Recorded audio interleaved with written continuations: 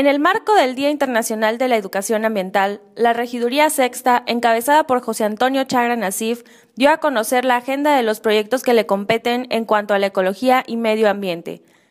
Este domingo se aterrizó el compromiso de la reforestación en avenidas y parques de Villa Allende, además de invitar a toda la ciudadanía a que participe en estos eventos que son semillero para el futuro ecológico del sur del estado.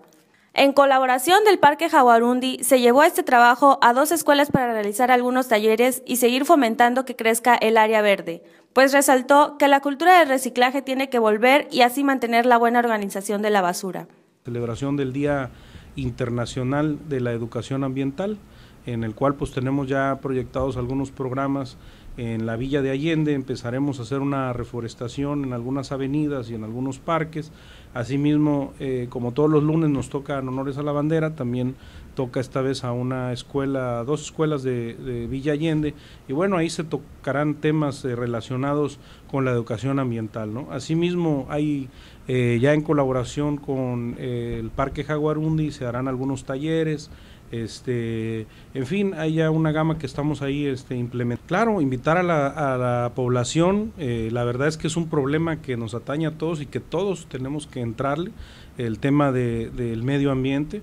E invitarlos a la cultura del reciclaje. Este, también tenemos ya, empezaremos con las campañas de reciclaje, la separación de basuras, orgánica e inorgánica, pero esto eh, no será posible o no lo tendremos el éxito que quisiéramos tener si no tenemos el apoyo de toda la población.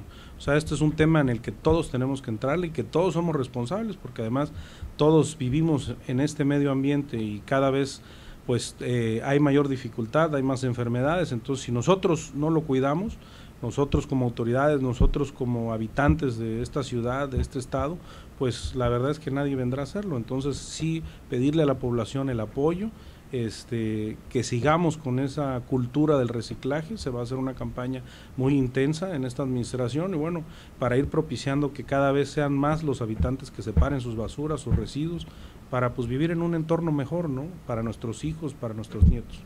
Por otra parte, el regidor afirmó que se trabaja en el operativo de las calles de Coatzacoalcos en contra del ruido, y es que han incrementado las quejas por el uso del volumen en algunos comercios.